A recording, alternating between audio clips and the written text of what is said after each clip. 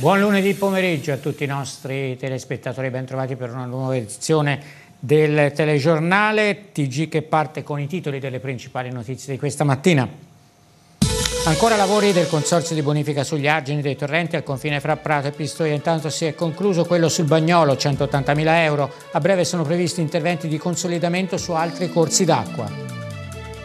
Degrado e abbandono per l'area dei lavatoi di Capostrada nella prima periferia nord di Pistoia. I residenti chiedono interventi urgenti. In un ambiente così piccolo dicono vedere questa trascuratezza non fa piacere. Primo trofeo della Lega Nazionale Pallacanestro in archivio. A Livorno è andata in scena la Supercoppa vinta dalla Fortitudo Bologna per quanto riguarda la A2 e dal Rosetto degli Abruzzi per la B nazionale. Da sottolineare anche il primo successo stagionale degli arancioni della Pistoiese nel campionato di Serie D. Per chi non l'avesse visto la partita in diretta che vi abbiamo proposto come sempre, come tutte le trasferte ieri pomeriggio, basta attendere dopo il telegiornale perché ci sarà la differita, la replica di questa partita. Comunque andiamo per ordine con la cronaca. Il Consorzio di bonifica Medio Valdarno, si legge nella nota dell'ente, ha concluso lavori sul torrente Bagnolo in località Viaccia, realizzati nell'ambito dell'accordo quadro per vari interventi di manutenzione ordinaria delle opere murarie dei corsi d'acqua Agna e Bagnolo nei comuni di Prato, Montemurlo e Montale, che ovviamente in provincia di Pistoia, intervento complessivo di circa 180.000 euro. Un lavoro lungo, si legge ancora nella nota del consorzio, cominciato ad ottobre 2023, necessariamente sospeso dopo le piene di novembre, ripreso ad anno nuovo e continuato fino a poche settimane fa. Si è trattato di un lavoro complesso poiché il primo tratto di muro di 175 metri a ridosso di un gruppo di abitazioni poste tra il torrente e via di Montemurlo era davvero molto malandato, tale da dover essere smontato e totalmente ricostruito. I lavori di risistemazione del torrente Bagnolo, tuttavia, scrive ancora il Consorzio, non finiscono qui, ci sono altri interventi da fare. Questa mattina i vigili del fuoco di Pistoia hanno provveduto ad eseguire alcune verifiche ad una parete esterna della chiesa pistoiese di Sant'Ignazio di, di Loyola. Nella prima mattinata, infatti, dalla parete esterna che si affaccia su Via dei Rossi sono distaccate alcune pietre cadendo a terra sul lastricato. Sul posto è intervenuta la Polizia Municipale e una squadra di vigili del fuoco che hanno chiuso la strada ed effettuato le necessarie verifiche. Avete sentito dai titoli, i residenti lamentano degrado e abbandono nella zona dei lavatoi nella frazione di Capostrada alle porte di Pistoia.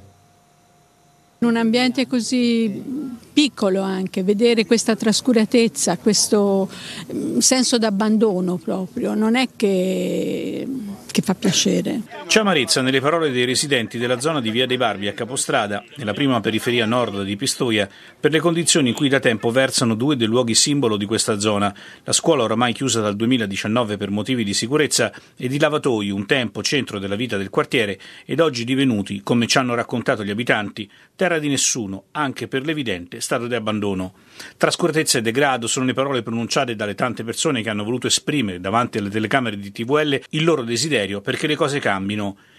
Il tema però non è solo quello del degrado, al centro della preoccupazione della gente c'è innanzitutto la questione sicurezza, a cominciare dall'area della scuola. Non vengano chiusi i cancelli, risistemate le ringhiere che sono distrutte dall'ultimo taglio degli alberi perché praticamente sono crollati sopra la ringhiera, le ringhiere si sono aperte e è terra di tutti lì dentro ora. I lavatori sono per capostrada diciamo quasi un monumento, il problema è che in questo momento sono nel degrado più completo. La gente d'estate ci vengano, tossici anche perché insomma, abbiamo avuto anche problemi di ambulanze, polizia. E qua ci sono anche molti bambini, eh, insomma anche ragazzi molto giovani, ci giocavamo anche noi quando eravamo piccoli, però la situazione non era così. Quindi il problema è che qui c'è un po' più di insicurezza, cosa che Capostrada fino a qualche anno fa non era abituata. La questione sarà prossimamente portata poi sui banchi del Consiglio Comunale attraverso un'interpellanza dal consigliere del Partito Democratico Lorenzo Buonini.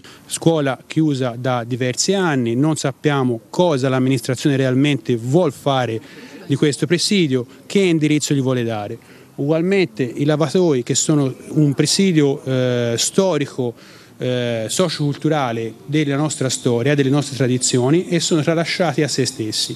Quindi l'amministrazione deve non tanto a me ma a tutti questi residenti di Capostrada delle risposte chiare e nette.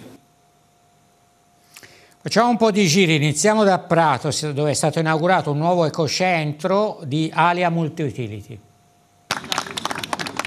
A Prato si è inaugurato un nuovo ecocentro in via Paronese. Aria Multiutility ha investito 1.500.000 euro per il servizio di raccolta di rifiuti differenziati. Questo diventerà il principale ecocentro non soltanto per la città di Prato ma per l'area eh, ed è, eh, come dire, eredita una storia importante perché l'ecocentro di Prato con eh, le oltre 1300 eh, tonnellate eh, raccolte ogni anno è probabilmente il primo ecocentro della Toscana per capacità attrattiva di rifiuti eh, da raccolta differenziata.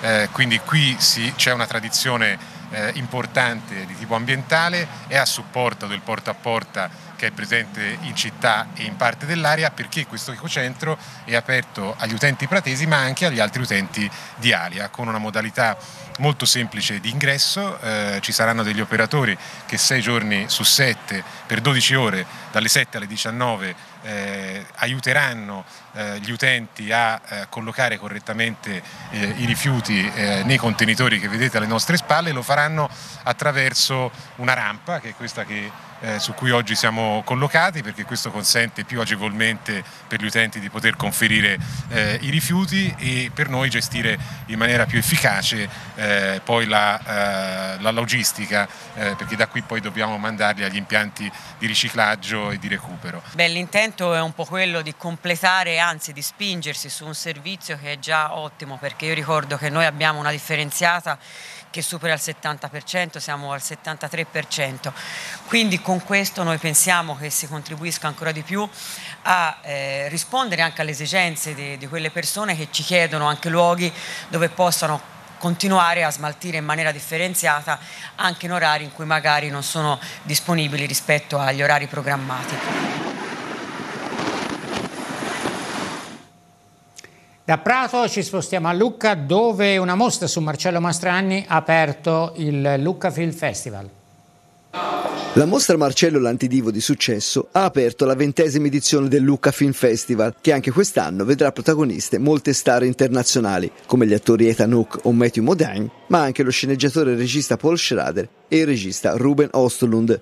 L'esposizione a Palazzo Pfanner che rimarrà aperta fino al 24 ottobre, è un omaggio ad uno degli attori italiani più famosi al mondo, Marcello Mastroianni, di cui quest'anno si celebra il centenario della nascita. Ospite speciale, la modella e attrice Chiara Mastroianni, figlia di Marcello e dell'attrice Catherine Deneuve. Eh, Marcello Mastroianni, l'antidivo di successo, un modo molto bello che abbiamo per celebrare un personaggio come Mastroianni che ha sempre avuto un legame particolare con Lucca, come sappiamo la sua casa, il suo buon ritiro qui sulle colline dove veniva a riposarsi, nascondersi dai fotografi. Nel centenario di Mastroianni per noi era doveroso aprire il festival con una mostra dedicata a tutta la sua carriera, con delle opere d'arte originali, inedite, dei bozzetti che hanno ispirato i grandi manifesti dei suoi film e ovviamente una madrina d'eccezione come Chiara Mastroianni che viene con noi a inaugurare questa mostra e la ventesima edizione del Luca Film Festival. È una collezione che nel tempo è 30 anni che ho questa passione, poi mi sono avvicinato ai pittori di cinema, ho scoperto un mondo e quindi ho la passione per il corredo pubblicitario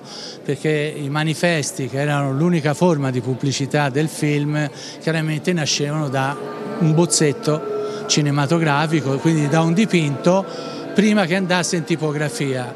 E qui nella mostra ho fatto la selezione sulla filmografia di Marcello Mastroianni andando diciamo, ad esporre sia le locandine, i manifesti e le fotobuste, quindi le pubblicità originali, qui non c'è una fotocopia ma sono tutti originali, e oltretutto anche un bozzetto, quindi un dipinto che facevano questi maestri pittori che era proprio il loro lavoro, il cartellionismo. È una passione a 360 gradi che prevede tanto impegno, mi chiamano un po' l'archeologo perché tanto, tante ore, tanto lavoro sulla ricerca, insomma. Ecco.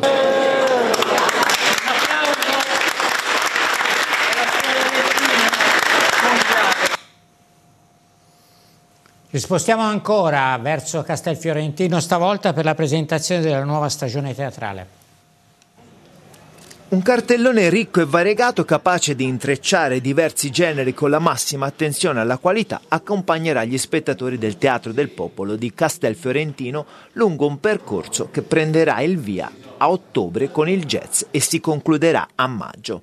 Oltre 40 appuntamenti illumineranno il palco tra prosa, musica, teatro civile, spettacoli per ragazzi e progetti intergenerazionali. Eh, siamo convinti che anche questa stagione, questo cartellone con gli spettacoli che ospita sia all'altezza di quelli precedenti, avendo spettacoli con una cifra artistica molto alta e quindi speriamo che ci sia un'ottima risposta. Tre protagonisti della stagione 2024-2025 ci saranno grandi nomi dello spettacolo come Emilio Solfrizzi, Enzo De Caro, Ambra Angiolini, Simone Cristicchi, Neri Marcorè, Flavio Insinna, Elio e Lella Costa. L'organizzazione impeccabile è curata dalla Fondazione Teatro del Popolo in collaborazione con il Comune di Castelfiorentino e Banca Cambiano 1884. Noi pensiamo che la cultura per essere davvero democratica debba essere accessibile, quindi mettiamo in campo tutta una serie di iniziative che servono proprio a avvicinare la popolazione dentro il teatro e poi in altri periodi dell'anno a portare il teatro fra la popolazione. La cosa che più ci fa piacere, ci riempie di orgoglio è che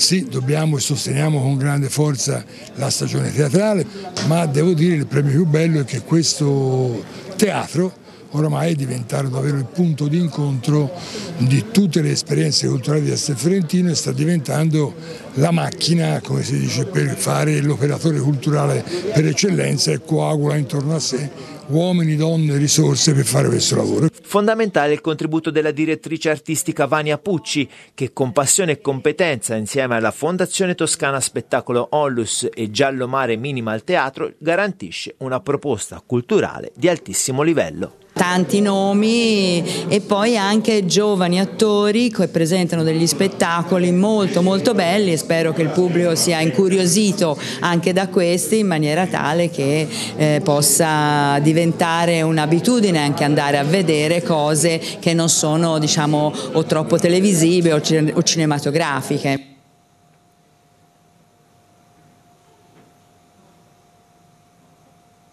Ieri sera abbiamo accennato a un possibile nuovo arrivo in casa Estra Pistoia, stiamo parlando di basket, oggi è stato confermato nel eh, roster quindi del Pistoia Basket ci sarà il playmaker, anche il playmaker di nazionalità statunitense Semai Criston, 31 anni, 191 cm per 86 kg. Criston indosserà la maglia numero 00 arriverà in città non, non, appena saranno risolte le pratiche burocratiche per il rilascio del visto. Lo scorso anno il giocatore era in forza alla Germania Brescia con la quale ha totalizzato 11 punti di media a partita in 26 minuti di utilizzo. A proposito di pallacanestro, nel weekend si sono disputate a Livorno, al Palamodigliani, le finali di Serie A2 e di Binazionale di Supercoppa. C'era anche la, Aarons, la Fabo Aarons Montecatini che però è stata eh, sconfitta in semifinale. Allora vediamo che cosa è successo ieri nelle due finali.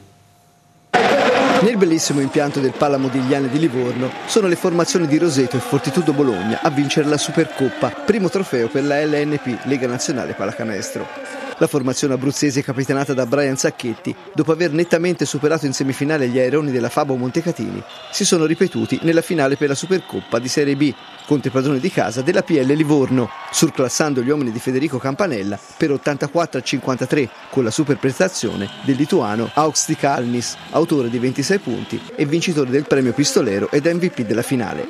È sempre per campionato, no? Oggi dobbiamo anche considerare che Livorno veniva da una partita finita alle 11 11 di sera, non è facile, obiettivamente non è facile, ci sono passato anch'io perdendo, quindi so che significa, però questa estate da sabato che si farà sul serio.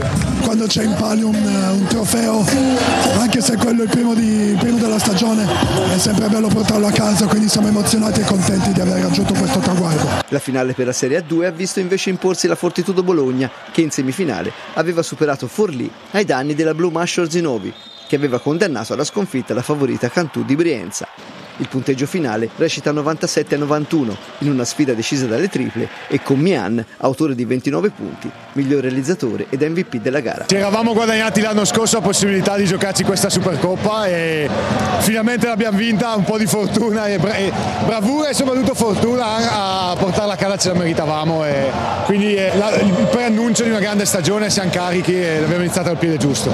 E come stai? Io sempre meglio, dai, sto lavorando bene, mi manca solo l'ultimo step che è entrare con la squadra, quindi sono contento come sta andando. Sì, una grandissima vittoria, è sempre bello alzare un trofeo, soprattutto dopo aver perso le ultime due finali la scorsa stagione, Coppa Italia e per la promozione siamo contenti di partire col piede giusto, sappiamo che è solo l'inizio, però questo trofeo ci dà la, la carica giusta per, per, continuare a lavorare bene. Livorno eravamo certi che rispondesse al di là della presenza della PL. Ha dimostrato questa Supercoppa che ci sono un sacco di squadre competitive e quindi sarà un campionato vincente perché tutte quelle che abbiamo visto, seppur in alcuni casi i risultati sono con un livario importante, è solo esito di una magari migliore preparazione in questo momento, però tecnicamente sono tutte squadre che si trovano in battaglia, quindi siamo soddisfatti perché questo primo assaggio dimostra il valore dei campionati. Siamo andati un po' lunghi, fra poco c'è la partita della Pistoiese contro il Progresso e poi a Sport Magazine. Noi torniamo alle 19, grazie per averci seguito.